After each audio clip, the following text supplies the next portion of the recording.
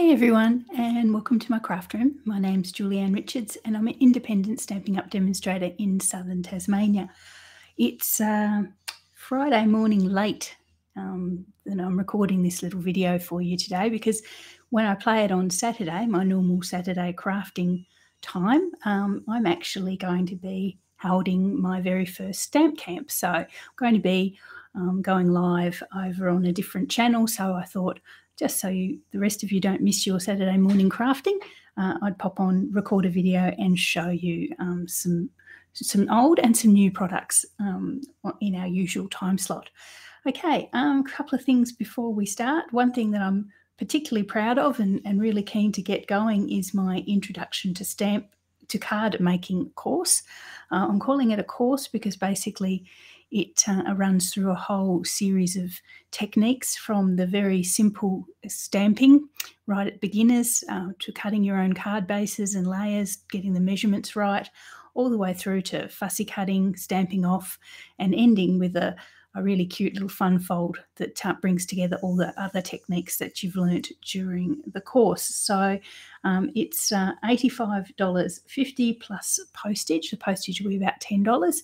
Uh, and for that, you basically get um, the uh, sweetest cherry stamp set, the um, assorted um, ink spots, classic ink spots. So there's eight colours there in our little ink spots. So you have all the inks that you need for the um, for the course, and a um, Memento black ink pad, which we all need as well. So you get those things. They actually retail at eighty five fifty. So for free, on top of that, you get all the cardstock, bling, ribbon, um, designer series paper, plus uh, that you need for the ten cards, plus you get instru- written instructions and uh, video as well. So I've got you covered for whichever way you like to learn, plus a, a $15 credit voucher if you want to come back and get some more um, product and stuff after you've finished. So it's a good little course, good value for money, and a great way to start your card making um, adventure.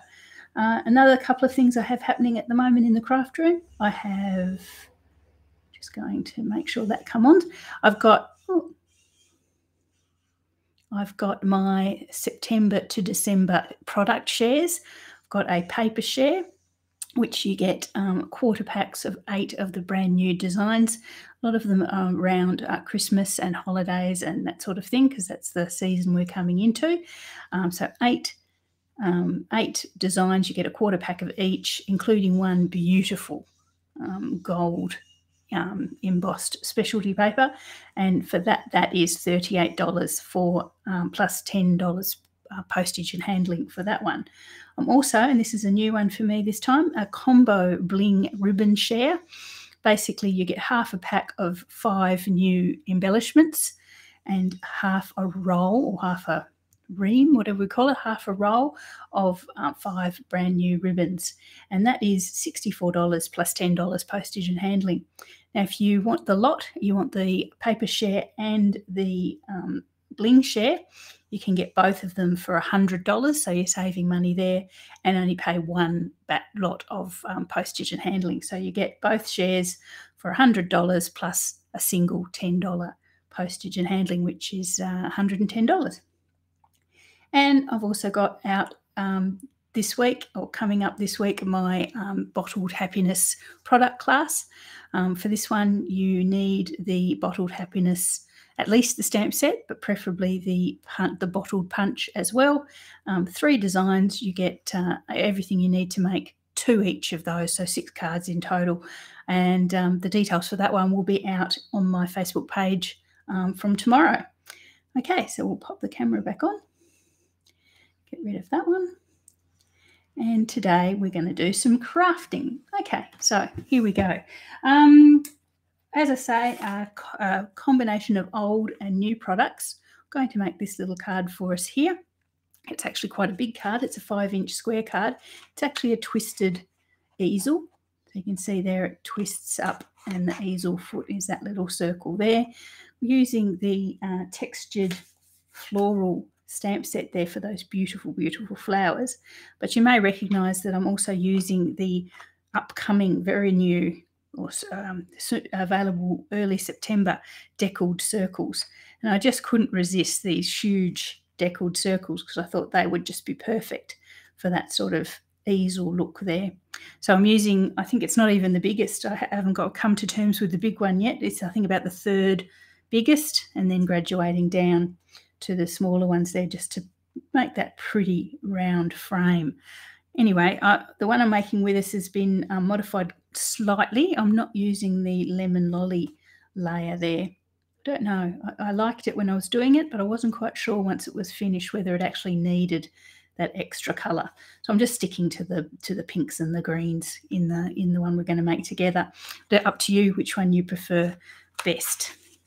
Okay, so let's get started. What I have to get started with is a um, uh, uh, bubble bath card base. It's uh, 10 inches long by 5 inches wide. It's been scored at 5 inches in the middle to, to create the 5 by 5 card base. And then again from the bottom corner to the top um, corner. So what is this? The corner down by the score score line in the centre up to the top corner.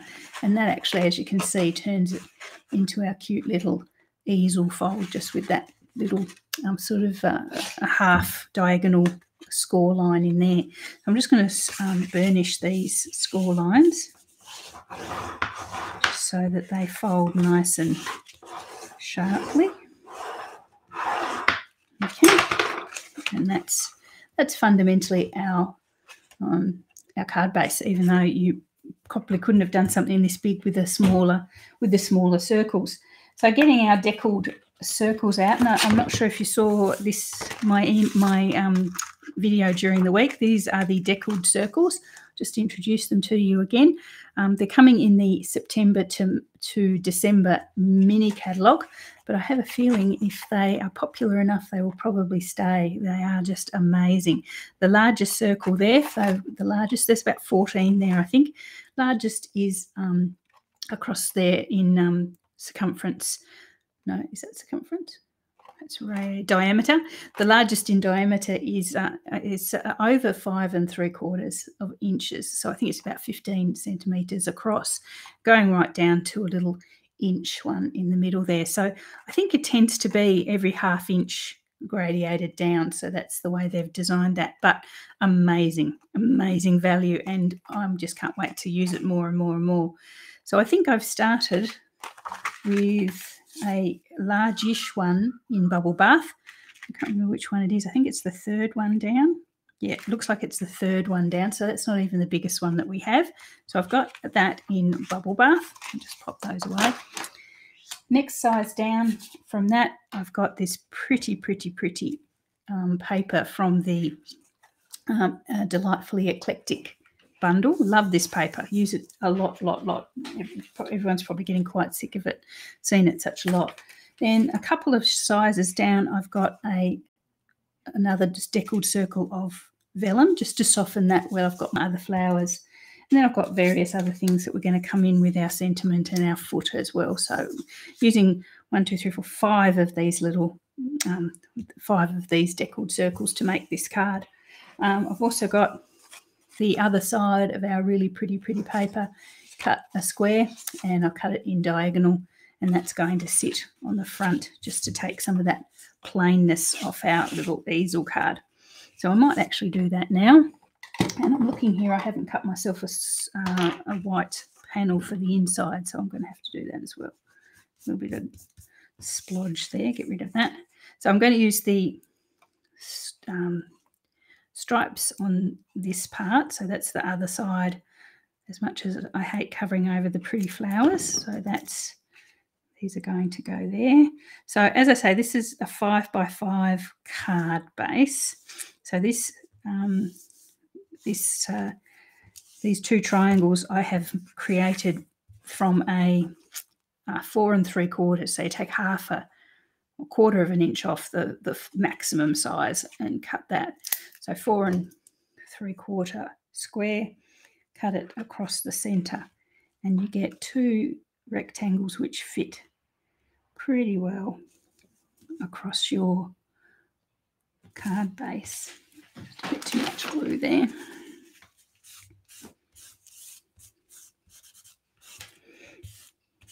Okay. So that's going to bend in the middle there like that. Okay, so let's pop that aside for a second while my white bit dries. So we'll layer up our deckled circles now. So our paper. So the same, the it's the same size, biggest circle, the biggest pink circle, but I've upgraded my, and my ink's got a gungy bit. Um, I've up, upsized the designer series paper circle because we're not using the yellow one. So pop in the comments which one you prefer once we see the end result, if you prefer it without the yellow, the lemon lolly layer, or whether you prefer this one.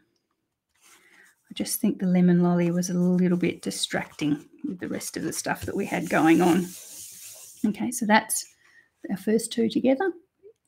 Great circles. And I'm going to bring in my um, vellum. Now, because we're covering over our vellum with some pretty flowers, I can just bring the glue in in the middle there and pop that in the center.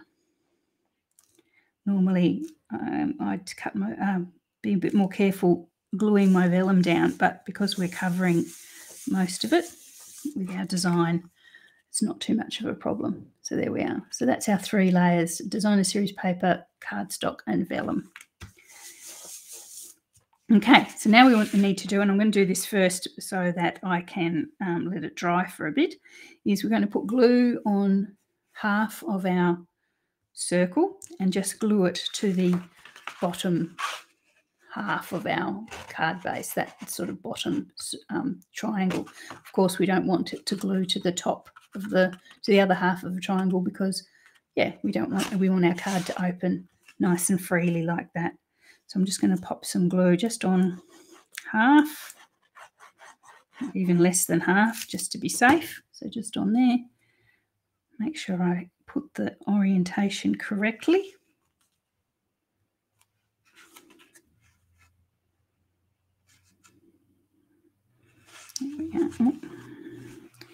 And pop that down. Now this one, this is, um, I picked this largest circle very carefully because it is exactly five inches across. So it fits our card base pretty perfectly. Yeah. So no glue where I don't want it, which is on the back there, and it's going to flip open like that. I don't know how my new webcam standing up. I know the color is nicer, but um, I think it's probably it's focusing quicker. I can tell it's actually focusing quicker, and the as I say, the color is good. I think so. My new webcam might be might be an improvement. Okay, so I'm going to pop that aside just so that all the elements can dry, and we're going to start doing some stamping with our pretty textured floral stamp set, which is in the current catalogue. So if you love this one, you can grab it straight away. So I'm going to match the colours in our um, card in our designer series paper. I'm going to use Bubble Bath for my flowers. I'm going to make a little bit of a highlight to them in uh, Fresh Freesia. And I'm going to use the Berry Burst for my sentiment. Um, the leaves, I'm going to match again, match the designer series paper. Oh, can't see that. Yeah, um, bubble bath, fresh freesia for the flowers, berry burst for the um, sentiment, and old olive for the leaves. So let's get stamping there. Because this is a photopolymer stamp set, I'm going to grab my little foam mat and pop my paper on there just so I get some nice coverage. And let's get stamping. So I'll grab a block. So I'm going to do one of the large flowers from the set. Again, grab my berry burst, uh, bubble bath, I mean. Ink that up and stamp it. There we are. Such a lovely um, soft colour. Then I'll grab two of the smaller flowers. This is the sort of medium sized one.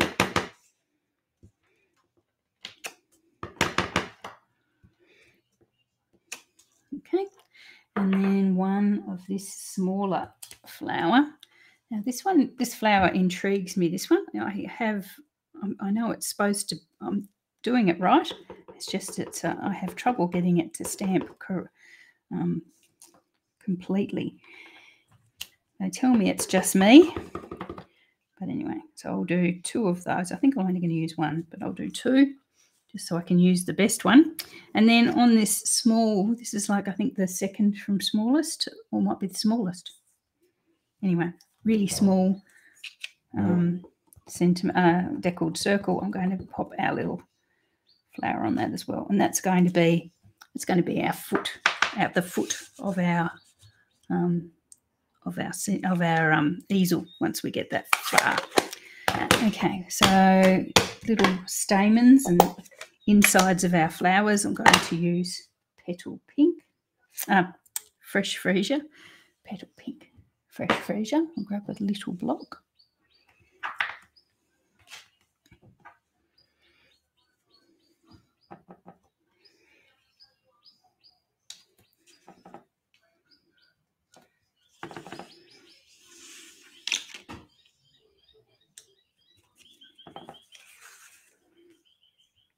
That's just the little insides there. And the next one, the bigger flower has a bigger cluster. This one here. Oh, I forgot the little one. There we are. Bring that other one back.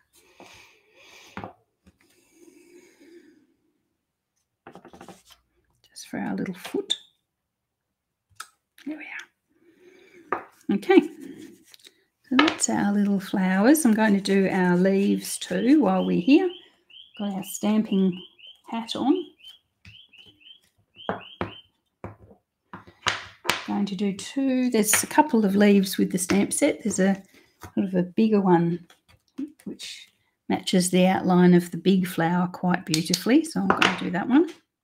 And then there's a couple of, another smaller one, and I'll do a couple of that. Get my old olive. Now, old olive is quite a dark green. You didn't sort of realise how dark it is until you see it. I sometimes miss miss my um, pear pizzazz that we had until the recent re revamp, color revamp. It was a sort of softer version. That looks really, really dark on the camera, um, but it will lighten up as it dries, thankfully. Um, because that is mega dark, that isn't it? And we'll do a couple of these. Okay, so that's our leaves. Uh, while we're stamping, I'll grab my sort of larger deckled circle. And I'll grab my sentiment which I'm going to use. The old favourite from this one is birthday blooms for you. Grab my berry burst which is basically just a darker pink. And I'll pop that in there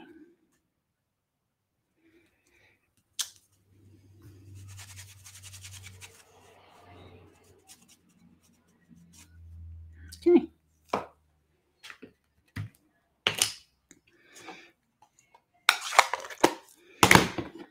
Now I'm going to um, die cut these. Make sure I keep everything safe. I'm going to die cut these.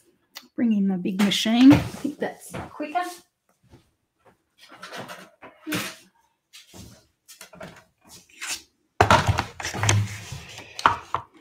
In my deckled circles, that's not what I want. My dies.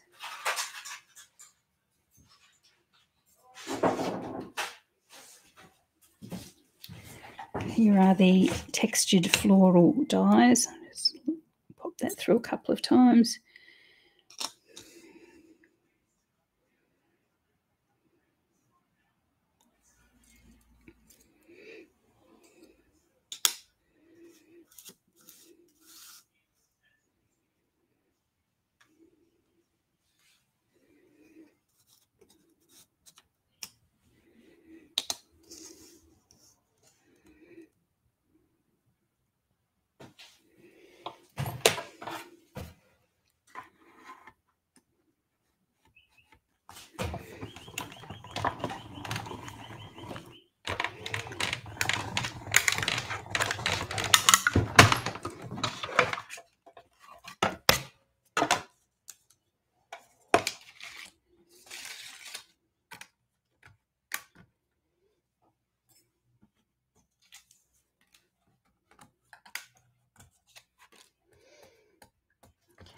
That's most of it. A couple of extras to do. Don't need that one anymore, but I need that one. And the one in my hand.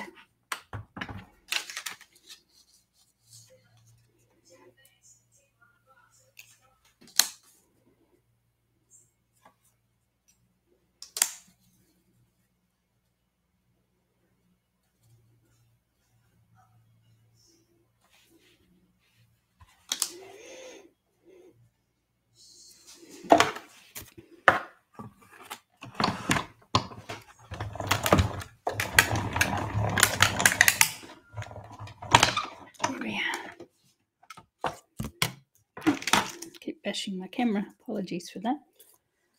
Put these back.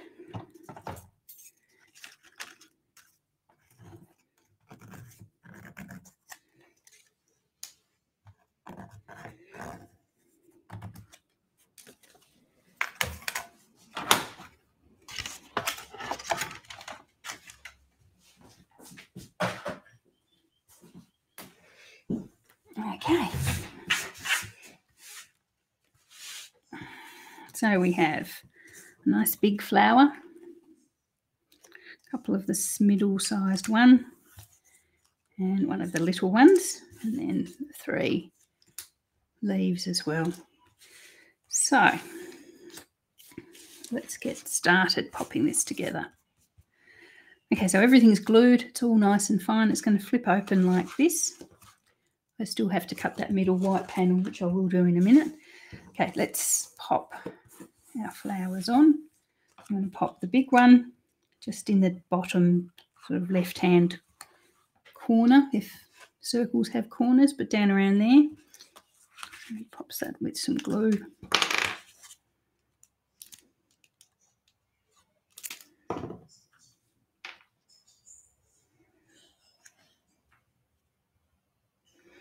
I'll bring in this sort of larger leaf, which is the one that pairs with this flower quite prettily. That sort of snuggles just up under there. I'll make sure it doesn't go over the edge of everything too much. So we can fit it in the envelope without ruining it too much. That's pretty good. And we'll bring in the next size up.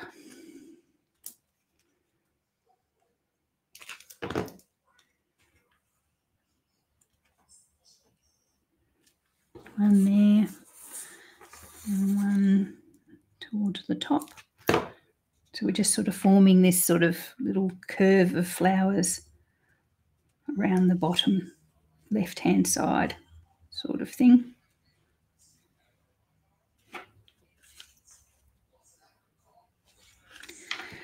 And some leaves, some more leaves. So I'm going to pop one leaf out this way.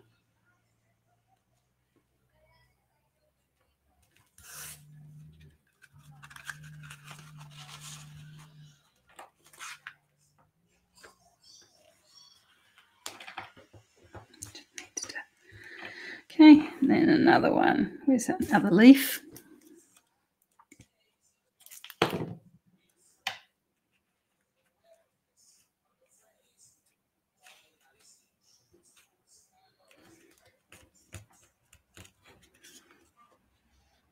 So pretty. Lots of lovely colours. You can see that um, that old olive's lightened a bit already and it continues to do so, which is quite bizarre, really. Okay, so our sentiment circle, another deckled circle. I'm going to pop some dimensionals on the back of that. If I can find my dimensionals, I had them here a minute ago.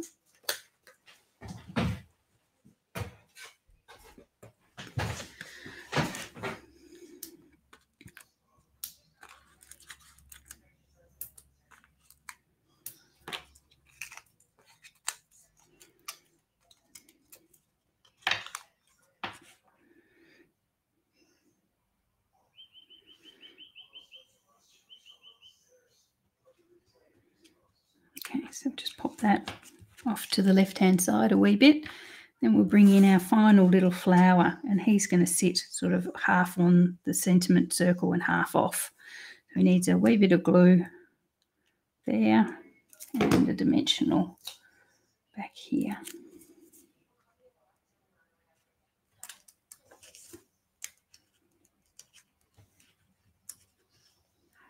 There we are. Okay. Cute. Really cute. Now, I do have to cut myself a white square for the inside. Give me as I walk away to where my paper is kept. Now just white inside. Make that uh, four and because it's a five inch card, I'll make it four and seven eighths, which is about 12.4 by the looks of that, centimetres wise.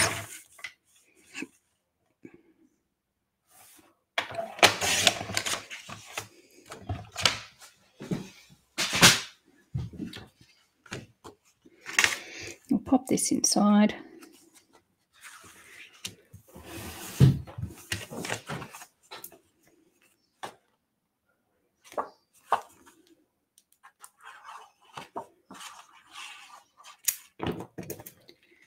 Then we'll put our, oh, forgot the ribbon. I was going to put some ribbon on the front. Oh well.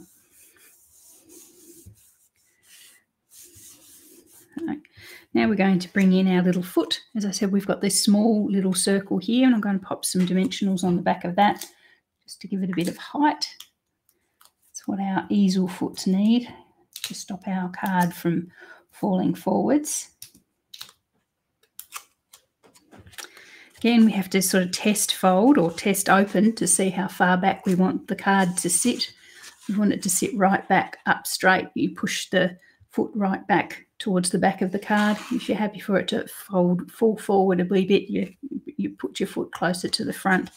I'm sort of going a half and half there. I'll pop it around here. There we are. So it'll sit open like that on our little easel foot. Okay, so last thing we need to do is bring in some bling. I've got my favourite iridescent jewels here.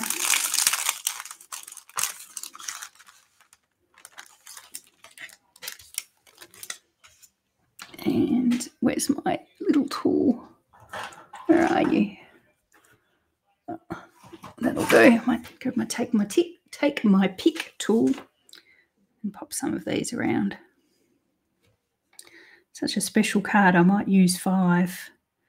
Put the boat. What do they call it? Put the boat out and go a bit crazy. One, two, three.